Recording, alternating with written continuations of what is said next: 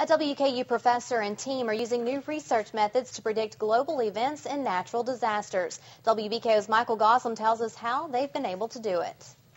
Lacey, last year, Dr. Cari Bourette's team forecasted a natural disaster correctly. So how do they do it?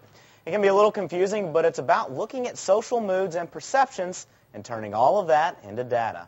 Dr. Bourette and students she works with can forecast social moods and perceptions to predict global events and even natural disasters. They start by looking at news stories and then we look at them for eight mood factors and we rate them. For instance, we might look at how much calmness is in the story, how much violence, how much uncertainty, how much optimism. And over time, we project the trends of those factors and then we can look at, okay, what are these factors likely to be next week or next month? Last year, they forecasted chaotic social perceptions in Japan, which led to the prediction of a natural disaster. It's one of those things that you kind of don't want to be right about because you don't want to see the devastation, but it was also very exciting to see that the research actually works and the um, way that the data is compiled. It, it's very accurate. And, and all I could think is like, what really? And because this was right during the time frame we had expected it to happen too. They even put out a YouTube video warning of the events that were to come. And at the core of the research lies the concept of instinct. It's it's a concept so simple that it goes back to, you know, the way that animals move and shift out of the way when there's some kind of natural disaster coming towards them. It's that natural instinct, and that's kind of what we bring to the table. If people could pay attention to that and get back to that natural instinct, then you can shift and kind of prevent some of the uh, fallout from the disaster. And so, what about the end of the world in 2012? Well, we tell people if they're looking for the end of the world in 2012, they're likely going to be disappointed, and they'll have plenty of things to deal with in 2013. Along with natural disasters, they look at economic turmoil, instability in countries around the world as well. However, this new research may not last as funding resources have been exhausted. If you'd like to learn more about this research, go to our web channel, WBKO.com. Gene? A very interesting research is taking place on campus that involves forecasting social moods. This research has even been proven effective for past events.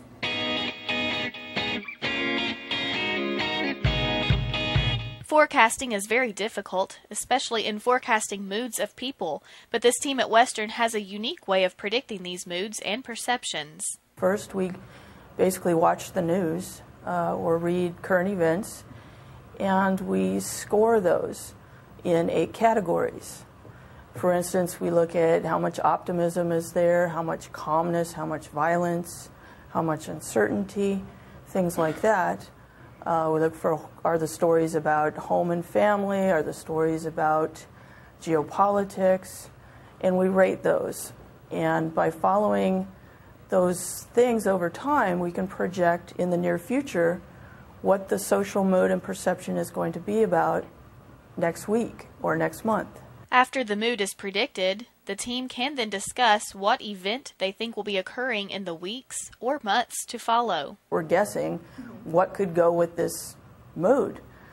Um, so we could be wrong, yes, uh, but it's about probability. It's about, gee, the, there's a higher risk of, let's say, the stock market going down next week. It's a risk, it's a probability. So it's not always going to happen. And like you, you brought up, we don't predict events we're forecasting social mood and perception.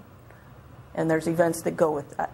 Before the tsunami hit Japan last year, the team had a chance to prove that their research and predictions were working. And so we're like, okay, it's Japan. What could possibly happen in this time frame over there that might cause such like a drastic change? We're like, well, it's a seismic zone and it's prone to tidal waves. So I don't know, maybe a massive earthquake, which kind of spooked us all because well you don't expect to, you know kind of sort of predict something happening and then have it happen almost exactly when you expect it. The research will now benefit not just campus or even the US, but globally. It's very interesting because not just do you look at the uh, mood perceptions of an individual place, but you look at it globally and you can look at nature, you know, weather related events, you can look at geopolitical events. Um, you know, and it's a good indicator of events globally, not just in one specific area. So it's very educational in that respect. For more information on the team's research as well as the outcomes of the research, you can visit the website at moodcompass.com. For Bowling Green today, I'm Emily McKinney.